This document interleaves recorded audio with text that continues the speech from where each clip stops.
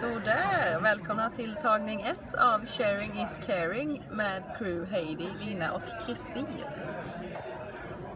Idag så ska vi se, varmt välkomna till Uppsalas nya kreativa mötesplats för alla i staden.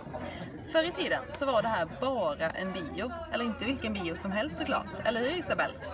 Nej, nej, det här var ju en bio för alla generationer eh, och eh, en kulturell plats att mötas på för samtliga medborgare i Uppsala.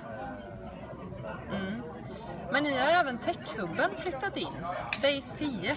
De har flyttat in en våning upp nämligen, precis ovanför bion. Och tidigare låg Techhubben på andra sidan Fyrisån. Nu ska vi föra lite mer om varför och vilka mervärden som det har skapat för de båda verksamheterna. Tidigare var kaffemaskinen hos oss den viktiga mötesplatsen.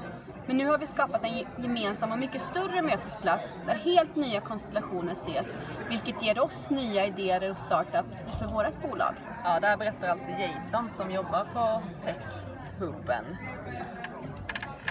Eh, och jag, som heter Isabelle, vill också bara berätta att för bion så innebär det här ekonomiska fördelar eftersom vår biosalong nu också är en eh, konferenslokal för Techhubben.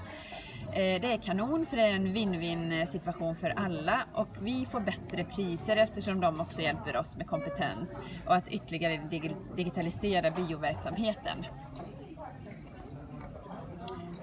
Och för oss då på Techhubben så tillsammans med bion så har vi nu skapat en verksamhet i bottenplan.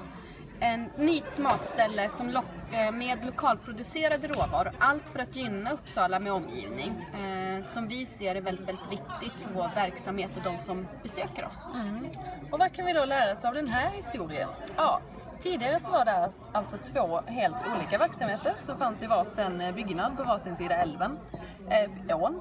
Nu idag så har de flyttat till samma lokal, vilket ger både att de kan dela resurser, dela kompetens och därmed också skapa en enormt mycket win-win och mervärde för båda två.